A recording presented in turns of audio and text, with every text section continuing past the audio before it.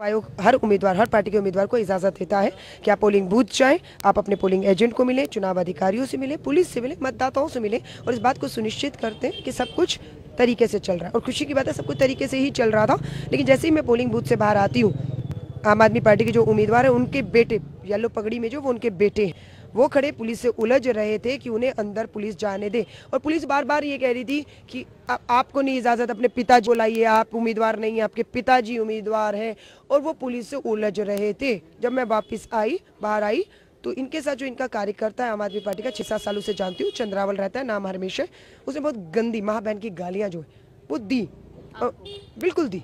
क्योंकि उनकी गुस्सा और बौखला था कि अलका लांबा अंदर से आ रही है, हमें क्यों नहीं इजाज़त दी जा रही? तो वो पुलिस समझा रही थी अलका लांबा उम्मीदवार है कैंडिडेट है कांग्रेस की।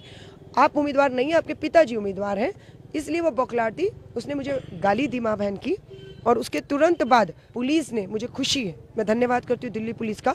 तुरंत उसको पकड़ा, गिरफ़्तार किया और चौकी पर ले गई।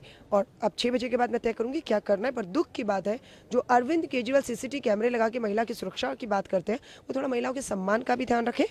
आपके आपके पार्टी के उम्मीदवार का बेटा वहाँ खड़ा हुआ, बदमाशी, गुंडागर्दी करते हैं, अभद्र भाषा गंदी माँ बहन की गालियाँ दे रहे हैं। आप उनकी निंदा करने की बजाय, उनसे माफ़ी मांगने की बजाय, पुलिस ने यूँ तो गिरबान से पकड़ के नहीं लेके ना उन्हें अरेस्ट करके। सबूत है। सो मुझे लगता है दुर्भाग्य है कि आज किसी भी तौर तरीके से नाक का प्रश्न केजरीवाल ने इस सीट को बनाकर रख दिया कि कोई भी तरीका अपनाइए, ये सीट जीतनी है उन्हें।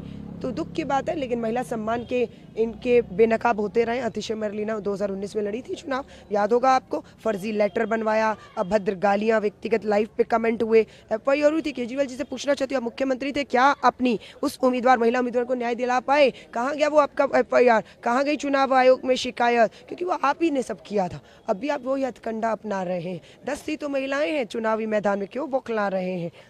क्यों बौखला रहे मैम साथ ये ये बोला जा रहा है कि वो चुनाव आयोग के पास जाएँगे जाएँ जाएँ मैं स्वागत करती हूँ बिल्कुल चुनाव आयोग में जाएँ है ना? और उनसे ये भी पूछाइएगा कि 2019 के उन्हीं की महिला उम्मीदवार अतिशी मरलीना का फैसला कहाँ तक पहुँचा है? पूछिएगा। सवाल सीएम ने सीएम केजरीवाल ने ट्वीट करके बोला है कि अगर महिलाएँ बाहर वोट जाने देने जाती है इनसे भाई किसी से भी एक बार सलाह करके जाएँ।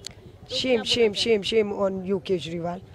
अब महिलाओं को समझ क्या रहे हैं? ये जागरूक महिला है, पढ़ी लिखी महिला। है। राय मशूरा करना एक बात होती है कि हम हम बात कर चीत करते हैं राय मशूरा करते हैं क्यों उम्मीदवार बेहतर है? लेकिन ये कहना कि महिलाओं की अपनी अकल अपनी सोच नहीं है वो जाहिल हैं और वो पुरुषों से पूछ कर अपने फैसले लेंगी या लेने चाहिए उनसे पूछिए क्या बेहतर है? तो ये महिलाओं के प्रति केजरीवाल की मानसिकता जो संकीर्ण मानसिकता है जिसको बदलने की लड़ाई हम लड़ रहे हैं दुख की बात है कि वो संकीर्ण मानसिकता हमारी बेटी बहनों के प्रति उस मुख्यमंत्री की भी है। इसलिए लगता है कई बार संघर्ष और लड़ाई लंबी है।